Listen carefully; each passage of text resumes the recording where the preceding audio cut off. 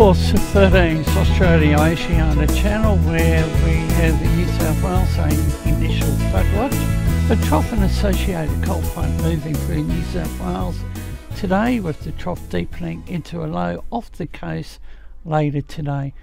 This development will bring rainfall to southern and central parts of the coast and ranges with some moderate falls likely about the central parts of the coast.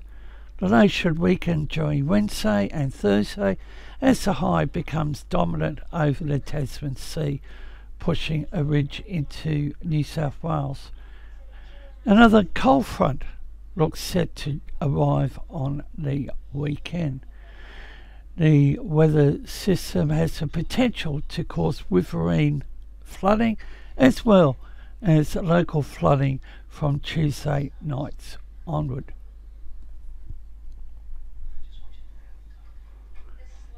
And on the screen is a look at some of the uh, rainfall wind activity over the Sydney region. The Bureau of Meteorology has in place a gale warning for the Macquarie, Hunter, and the Sydney coast. Strong wind warning in the Sydney coast waters, Illawarra and Bateman's coast.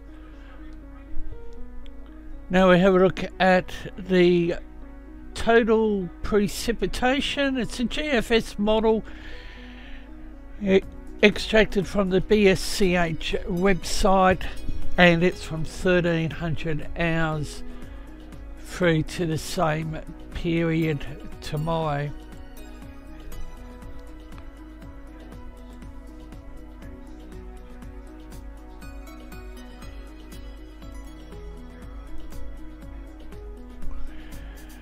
Wind warning, southeast, southwest, central west coast, Tasmania.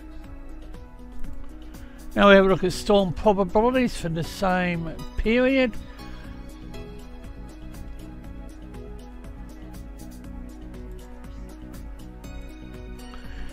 Bureau Meteorology here in Queensland has a strong wind warning for the Moreton Bay, Gold Coast waters and the Sunshine Coast waters. We also have a fire weather warning. Severe fire danger ratings are forecast to affect the Darling Downs Granite Belt today and may affect isolated parts of the northern Maranoa, Warrego, southern central Hainan coalfields, western southeast coast districts. Now we have a look at the winds, 850 millibars level information at the bottom of the screen. Fresh, stronger gusty northwesterly winds expected to bring hot, dry conditions across the Warning area. A fresh and gusty southwesterly wind change is expected to move across the southern interior of the state during the afternoon and evening. Now we have a look at the BA's 12 hourly and 24 hour rainfall outlook. Isolated thunderstorms also forecast to develop across the downs, the southern, the southeast this afternoon and evening, tendering scattered closer to the coast. Given the dry air mass, some of these thunderstorms will have little to no rainfall, so there is a risk that dry lightning could ignite new fires.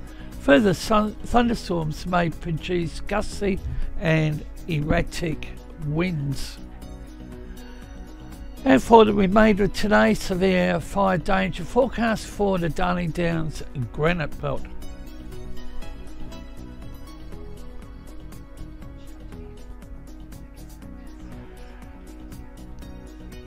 Force 13's AU channel we'll continue to bring the latest information on the local weather scene.